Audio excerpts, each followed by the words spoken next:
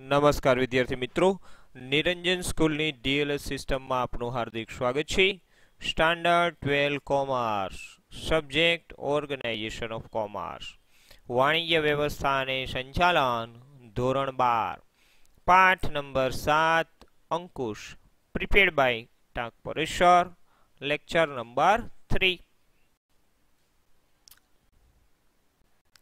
હવે આપણે ગયા વખતે સમજ્યા હતા કે અંકુશ વિશે માહિતી સમજાવો. આજે આપણે સમજીએ કે નવો પ્રશ્ન જેમાં આપણે સમજશું અંકુશનો અર્થ આપો. બરાબર? તો ચાલો વિદ્યાર્થી મિત્રો, ગઈકાલે આપણે જે સમજ્યા હતા અંકુશની પ્રસ્તાવના જેના દ્વારા આપણને ખબર પડી કે અંકુશનો અર્થ શું થાય અથવા અંકુશની પ્રાથમિક માહિતી શું કહી શકાય. હવે સમજીએ છીએ આજે અંકુશનો અર્થ. તો સૌપ્રથમ સંચાલનની જો પ્રક્રિયા જોઈએ તો સંચાલનની પ્રક્રિયામાં ક્રમની દ્રષ્ટિએ આયોજન એ પ્રથમ કાર્ય છે અને અંકુશ એ છેવટનું કાર્ય છે. બરાબર? તો સૌપ્રથમ કાર્ય સંચાલનનું કયું થયું? આયોજન. જેને આપણે કહીએ છીએ પ્લાનિંગ. કોઈ પણ ધંધાની અંદર જો કોઈ પણ ક્ષેત્રમાં જો તો સંચાલન જો કરવામાં આવે અને એની અંદર જો પહેલું કાર્ય જોવામાં આવે તો એ છે પ્લાનિંગ અને છેવટનું કાર્ય. પ્લાનિંગની અંદર તમે આવું પણ જોયેલું હશે. ઘણી બધી બાબતોનું પ્લાનિંગ થાય. જેમ કે પ્લાનિંગ છે મેનેજરિયલ ફંક્શન ગોલ ઓરિએન્ટ પછી એવી જ રીતે બીજા ટોપિકની વાત કરીએ તો બધા બધી જ બાબતોનું પ્લાનિંગ કરવામાં આવે. તમે એવું પણ જોયેલું હશે કે ભાઈ કર્મચારીઓ અલગ અલગ તારીખ પ્રમાણે અગાઉથી આયોજન તૈયાર કરતા હોય છે. જેમ પહેલું કાર્ય સંચાલનનું આયોજન, એમ છેલ્લું કાર્ય છે અંકુશ, એટલે કે કંટ્રોલિંગ નંબર બે, તમને એક માર્કમાં આવો પ્રશ્ન પૂછે કે સંચાલનની પ્રક્રિયામાં ક્રમની દ્રષ્ટિએ ખાલી જગ્યા પ્રથમ કાર્ય છે? તો આપણે જવાબ લખશું આયોજન. અને સંચાલનની પ્રક્રિયામાં ક્રમની દ્રષ્ટિએ છેવટનું કાર્ય ખાલી જગ્યા છે. તો આવશે અંકુશ. બરાબર? પ્રથમ સોપાન પૂછે તો પણ આયોજન. અને છેલ્લું સોપાન પૂછે તો પણ અંકુશ. બરાબર? આ રીતે પ્રશ્નો તમારે એક માર્કમાં આવી શકે અથવા એમસીક્યુમાં આવી શકે એ તમે યાદ રાખજો. હવે સમજીએ કે આયોજન મુજબ કાર્ય નક્કી થાય. બરાબર? માની લો કોઈ કંપની છે જેને માર્કેટિંગ કરવાનું છે, તો માર્કેટિંગનું પ્લાનિંગ કરવામાં આવે અને માર્કેટિંગનું પ્લાનિંગ પ્રોસેસ તૈયાર થાય. જેમ મેં અત્યારે અહીંયા ચિત્રમાં તમને બતાવ્યું છે. એવી રીતે ગોલ સેટિંગ થાય, એના પછીનું કાર્ય છે એનાલિસિસ થાય, એના પછીનું કાર્ય છે ક્રિએટિંગ ધ માર્કેટિંગ સ્ટ્રેટેજી તૈયાર થાય, અને પછી allocating marketing resource and monitoring થાય. આ રીતે સ્ટેપમાં આખું પ્લાનિંગ તૈયાર થાય કાગળ ઉપર, જેને કહેવાશે આયોજન મુજબ કાર્ય નક્કી થાય. બીજું છે વ્યવસ્થા તંત્રમાં તે મુજબ સત્તા અને જવાબદારીની સોંપણી થાય. કે તમે જે આયોજન તૈયાર કરેલું છે માર્કેટિંગનું, એ આયોજન પૂરું કરવા માટે તમારે અલગ અલગ કર્મચારીને અલગ અલગ સત્તાને જવાબદારીની સોંપણી કરવી પડશે. હવે આગળ સમજીએ કે કામગીરીની શરૂઆત થાય ત્યારથી જ અંકુશનું કાર્ય પણ શરૂ થઈ જાય છે. બરાબર? એટલે કે તમે આયોજન કરો છો ત્યારથી જ અંકુશનું કાર્ય શરૂ થઈ જાય. કેવી રીતે? તો કે ભાઈ, સંચાલનમાં થતા કાર્યોની પ્રગતિ, તેમની આયોજનમાં નક્કી થયેલા ધોરણો સાથેની સરખામણી અને આવતા વિચલનોની જાણકારી. મેળવવાનું કાર્ય અંકુશ કરે છે. બરાબર? સંચાલનમાં જે થાય છે એવા કાર્યોની પ્રગતિ એ કોણ જોશે? અંકુશ. આયોજનમાં નક્કી થયેલા ધોરણોની સરખામણી કોણ કરશે? અંકુશ કરશે. આવતા વિચલનો વિચલનો એટલે મુશ્કેલી. આવવાની જે મુશ્કેલી છે એની જાણકારી કોણ મેળવશે? અંકુશ. તો એનો અર્થ એવો થાય છે કે કામગીરી જ્યારે શરૂ થાય, ત્યારે અંકુશનું કાર્ય પણ સાથે સાથે શરૂ થઈ જાય. આવા વિચલનોની માહિતી મેળવવાની તેને દૂર કરવા ફરીવાર કહું છું, વિચલન એટલે મુશ્કેલી, મૂંઝવણ. તો આ મુશ્કેલીની જે માહિતી અગાઉથી આપણને મળે એને દૂર કરવી અને સુધારાલક્ષી પગલાં લેવાનું કાર્ય કરે છે અંકુશ. બરાબર? ટૂંકમાં આપણે એમ કહી શકીએ કે કોઈ પણ ધંધાકીય એકમની અંદર એમ્પ્લોયી એટલે કે કર્મચારીઓ જ્યારે કામ કરવાનું શરૂ કરે આયોજન મુજબ, ત્યારે ઘણા બધા એના ઉપર કંટ્રોલ રાખવા પડે. એક પ્રોસેસ પ્રક્રિયામાંથી પસાર થવું પડે. અને પ્રક્રિયામાંથી પસાર થાય ત્યારે એનું આઉટપુટ કસ્ટમર સુધી પહોંચે. એટલે કે કસ્ટમર પાસેથી આપણે જો ફીડબેક લઈએ તો આપણે ખબર પડે કે આપણા, આપણી જે વસ્તુઓ બજારમાં વેચીએ છીએ, એમાં કસ્ટમરને સો ફાયદો છે. તો આવી રીતે અંકુશનું મુખ્ય કાર્ય છે થયેલા જે આયોજન છે એ મુજબ કાર્ય થવું જોઈએ.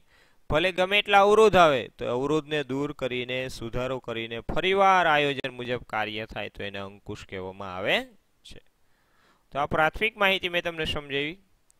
હવે આપણે સમજીએ જે અર્થ અંકુશના છે. જે આપણો પ્રશ્ન છે કે અંકુશનો અર્થ સમજાવો. એની અંદર અલગ અલગ લેખકોએ અલગ અલગ આપણને અર્થ સમજાવ્યા છે એની માહિતી હવે આપણે સમજીએ છીએ. તો સૌપ્રથમ આવે છે કે અંકુશ એટલે એકમમાં કયા કાર્યો થઈ રહ્યા છે તે નક્કી કરવું. બરાબર? એકમમાં ઉત્પાદનનું કાર્ય થાય છે, વેચાણનું કાર્ય થાય છે, તો એને શું કહેવાય? કાર્યો થઈ રહ્યા છે, તો નક્કી કરીએ છીએ આપણે. થઈ રહેલા કાર્યોનું મૂલ્યાંકન કરીએ છીએ. ઉત્પાદનનું કાર્ય થઈ રહ્યું છે, તો એનું મૂલ્યાંકન કરીએ. અને જો જરૂર લાગે તો સુધારાલક્ષી પગલાં લેવા, કે જેથી યોજના મુજબ કાર્ય થાય. જો આપણને એવું લાગે છે કે ભવિષ્યમાં કોઈ મુશ્કેલી સર્જાશે, તો એના માટે આપણે સુધારો કરીને ફરીવાર ઉત્પાદન આયોજન મુજબ તૈયાર કરીએ છીએ, તો એનો અર્થ છે અંકુશ. એટલે પહેલો અર્થ હારીશ તમને એક માર્કમાં પૂછાય, અંકુશનો અર્થ સમજાવો, તો ગમે એક તમે લખી શકો છો. આમાં અર્થ ઘણા બધા લેખકના આવશે પરંતુ તમને જે યાદ રહી, ગમે એક લખી શકશો. તો પેલો અર્થ આવો આવશે. બરાબર? કે અંકુશ એટલે એકમમાં કયા કાર્યો થઈ રહ્યા છે? જેને આપણે કહીશું ઇસ્ટાબ્લિશ ઓફ સ્ટાન્ડર્ડ તે નક્કી કરવું મિનિંગ ઓફ પરફોર્મન્સ થઈ રહ્યા કાર્યોનું મૂલ્યાંકન કરવું એને કહેવાય actual performance match the standard અને જો જરૂર લાગે, તો જ સુધારાલક્ષી પગલાં લેવા, જેને કહેવાય ટેક કરેક્ટિવ એક્શન તો સુધારાલક્ષી પગલાં લઈને જો યોજના મુજબ કાર્ય થાય, તો એને કહેવાનું કહેવામાં આવશે પ્રોસેસ ઓફ કંટ્રોલિંગ અથવા અંકુશ. હવે બીજો અર્થ સમજીએ. આયોજન ધ્યેય નક્કી કરે છે અને અંકુશ તેને અસરકારક બનાવે. આયોજન શું નક્કી કરે? ધ્યેય નક્કી કરે. બરાબર? ધંધાકીય એકમના માલિક છે અને એના કર્મચારી પાસે કામ કરાવે છે. કોઈ ઉત્પાદન મેનેજર છે, કોઈ વેચાણ મેનેજર છે. બરાબર? તો એને શું કહેવાશે? આયોજન ધ્યેય નક્કી કરે. આયોજન ધંધાના માલિક નક્કી કરશે. પછી એના ઉપર દેખરેખ રાખવામાં આવે, એની પાસે કામ કરવામાં આવે. તો એને કહેવાશે અંકુશ. અંકુશ એને શું બનાવે છે? અસરકારક બનાવે છે. હવે ત્રીજો અર્થ છે હેનરી ફ્યોલના જણાવ્યા મુજબ.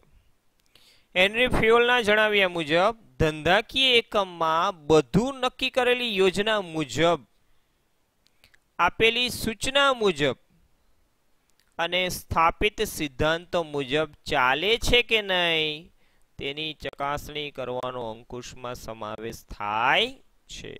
બરાબર? હું તમને એક ઉદાહરણ આપું છું કે ભાઈ ઇન્ડિયામાં, ભારતમાં ઘણી બધી જનરલ ઇન્સ્યોરન્સ કંપની છે. જે વ્હીકલ કાર ને એના બધાના વીમા વેચે છે. હવે દરેકનો માર્કેટ શેર અલગ છે. એટલે કે ઇફકો, ટોક્યો કરીને કંપની છે, એનો છે માર્કેટ શેર ચાર ટકા. એટલે કે સો ટકા માણસોમાંથી ચાર ટકા એની ઇન્સ્યોરન્સ પોલિસી ખરીદે છે. એચડીએફસી કંપની છે, એનો છે પણ ચાર ટકા. રિલાયન્સ જનરલ કંપની છે, એનો છે ત્રણ ટકા. શ્રીરામ જનરલ, એનો ત્રણ ટકા છે. આવી રીતે બધાના માર્કેટ શેર છે કે આ ગ્રાહકો આટલા સોમાંથી આટલા લોકો ચાર ટકા એટલે કે ચાર જણા સોમાંથી ચાર, સોમાંથી ત્રણ એમ પસંદ કરે છે. હવે સૌથી વધારે માર્કેટ શેર કોનો છે? તો કે આ ચાર્ટમાં દેખાય એ પ્રમાણે નવ ટકા, બીજું છે દસ ટકા, વધુમાં વધુ દસ ટકા છે તો એ તો અધર છે એટલે કે ઘણી બધી કંપની આવે. પણ વધુમાં વધુ જોઈએ તો નવ એ કંપનીનું નામ છે આઈસીઆઈસીઆઈ. બરાબર? હવે આઈસીઆઈસીઆઈ નો માર્કેટ શેર વધારે છે. બરાબર? તો આ બધી કંપનીઓને એવું લાગે કે ભાઈ આપણે આપણો માર્કેટ શેર આની જેમ વધારવો છે. બરાબર? તો એને શું કહેવાય? આયોજન. બીજું આપેલી સૂચના મુજબ સ્થાપિત સિદ્ધાંત ચાલે છે કે નહીં તેની ચકાસણી. એનો ચાર ટકા છે, એમાંથી એને માર્કેટ શેર કેટલો કરવો છે? નવ ટકા. તો એની ચકાસણી કરવાનો અંકુશમાં સમાવેશ થાય છે. કે ભાઈ આપણે ચારથી નવ ટકા સુધી પહોંચવું છે તો વચ્ચેનો ગેપ કેટલો થયો? પાંચ ટકા વધારું છે. તેનો હેતુ નબળાઈઓ કે ભૂલ શોધી કાઢવાનો નથી. કે ભાઈ આપણો માર્કેટ શેર બહુ ઓછો છે કંપની બંધ કરી દો એવું નથી, પરંતુ ભૂલ શોધી કાઢવી. કે પાંચ ટકા વધારવું હોય તો શું કરશું? એનો સુધારો કરવો. અને ફરી થતી અટકાવી. એને જ કહેવામાં આવે છે અંકુશ. તો માની લો ઇફકો ટોપક્યો કંપનીને એમ થાય કે ભાઈ ચારમાંથી નવ ટકા સુધી આપણે પણ માર્કેટ શેર વધારવો છે, તો એ શું કરશે? દરેક શોરૂમમાં જશે શોરૂમના જે કંપનીના માલિક છે, એની સાથે ટાઈપ કરશે. એટલે કે એને કહેશે કે અમારી કંપનીના ઇન્સ્યોરન્સ તમે પણ વેચો, તમને અમે કમિશન આપશું. તો એને કારણે કદાચ એનો ચારમાંથી નવ ટકા શેર વધી જાય. તો આને કહેવામાં આવે છે હેનરી ફ્યોલના જણાવ્યા મુજબ અંકુશ. બરાબર? હવે તમને સમજાણું છે અંકુશનો અર્થ શું થાય? તો કે અંકુશનો અર્થ એવો ક્યારેય નહીં થાય કે નબળાઈ શોધવી, ભૂલ શોધવી, બરાબર? કે એને આપણે સાવ બંધ કરી દેવું, નકારાત્મક પ્રવૃત્તિ ક્યારેય નહીં, પણ સુધારો, એટલે કે એને કહેવામાં આવે છે હકારાત્મક પ્રવૃત્તિ. ભૂલ ન થાય એને અટકાવી, એને જ કહેવામાં આવે છે અંકુશ. તો હેનરી ફ્યોલના જણાવ્યા મુજબ જો તમને પ્રશ્ન પૂછાય, તો આ અર્થ તમારે લખવાનો રહેશે. હવે સમજીએ પીટર એફ ડ્રકર શું કહે છે. તો એના જણાવ્યા મુજબ અંકુશ એટલે પ્રયત્ન અને પરિણામ. બહુ સરસ મજાનું તમને ઉદાહરણ આપું છું, ધ્યાનથી સાંભળજો. પ્રયત્ન અને પરિણામ. ફોટોગ્રાફ્સ જો આ ચિત્ર શેનું દેખાય છે તમને? તો હું તમને યાદ કરાવું.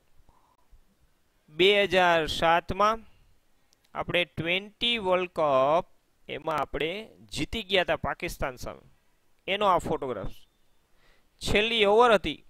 મને બરાબર યાદ છે કે આ છેલ્લી ઓવરની અંદર બધાને એમ થતું કે ભાઈ ભારત જીતશે કે પાકિસ્તાન? બરાબર? અને ત્યારે કેપ્ટન હતા મહેન્દ્રસિંહ ધોની. તો એ પહેલી વાર કેપ્ટન બન્યા હતા વર્લ્ડ કપમાં ડાયરેક્ટ અને બધાને એમ હતું કે ભાઈ હવે શું કરવું? છેલ્લી ઓવર છે, આપણે હારી જશું. બરાબર? પણ આપણે મહેન્દ્રસિંહ ધોનીને કહીએ છીએ બધા, ભાઈ કુલ કેપ્ટન છે. તો પોતે એવું વિચાર્યું કે ભાઈ, એવા નબળા બોલરને હું બોલિંગ આપું કે એની અંદર બેટ્સમેનથી ભૂલ થાય. બધા એવું વિચારતા હતા કે ભાઈ, આપણે એવો બોલર મૂકવો જોઈએ કે રમી ન શકે. પણ એને એવું વિચાર્યું કે એવો નબળો બોલર હું મૂકું કે જેથી કરીને એ લોકો કંઈક ભૂલ કરે અને એ ભૂલનો આપણને ફાયદો થાય. તો સાચે એવું બન્યું.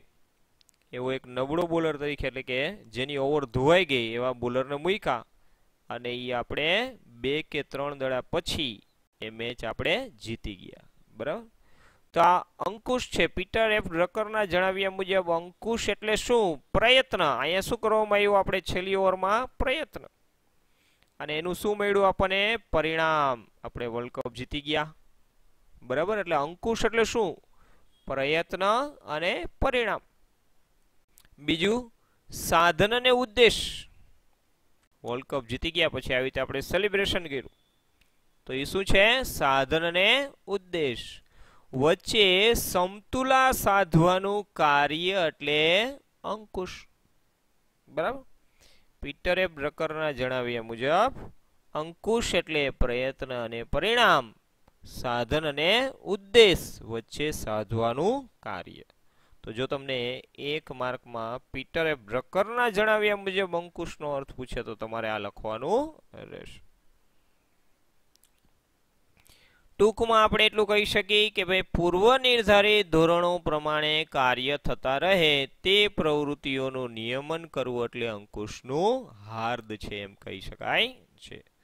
તો આવી રીતે મેં તમને જે લેખકોના મતે Henry Fayol Peter F Drucker અથવા એક બે બીજા પણ અર્થ સમજાવ્યા, તમને વિશ્વાસ, મને સો ટકા વિશ્વાસ છે કે તમને સમજાણું હશે. આ વિડીયોને લાઈક અને શેર કરો. આ વીડિયો જોવા ખૂબ બદલ ખૂબ ખૂબ આભાર. Thank you very much